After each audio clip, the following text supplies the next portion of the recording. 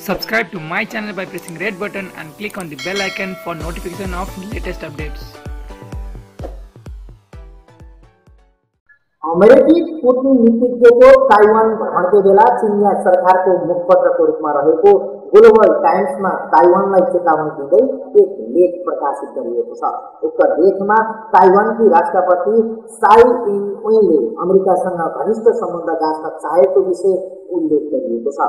यस विषयमा पत्रिकामा ताइवानकी राष्ट्रपतिको कुनै पनि उत्तेजक गतिविधिले चिनको कानुन उल्लङ्घन भए युद्ध हुने र साई इन वेन निष्कासित हुने चेतावनी दिएको छ।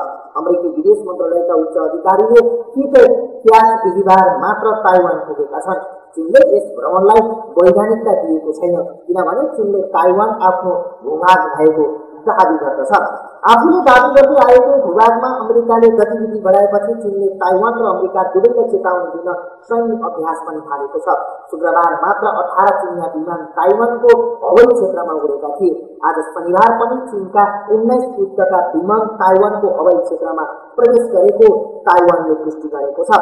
चीनले ताइवानलाई आवश्यक परे आक्रमण गरेर नियन्त्रणमा लिन सक्ने बताइरहँदा अमेरिकाले ताइवानलाई बेग्लै देशको दर्जा दिएको छ र यस देशसँगको सम्बन्धलाई बढावा दिँदै आएको छ ताइवानले पनि आफूले चीनको भनाइ नमान्ने र आफू स्वतन्त्र देश भएको बताउँदै आएको छ। अमेरिकी र ताइवानको कदमबाट चीन सन्तुष्ट छैन।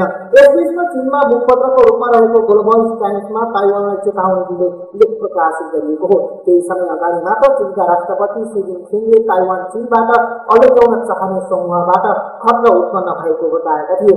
उनले चिनिया जनमुक्ति सेनालाई युद्धको अभ्यास सुरु गर्न निर्देशन दिएका थिए। यसबीचमा ताइवानले पनि आफ्नो सैन्य शक्ति बढाउँदै लगे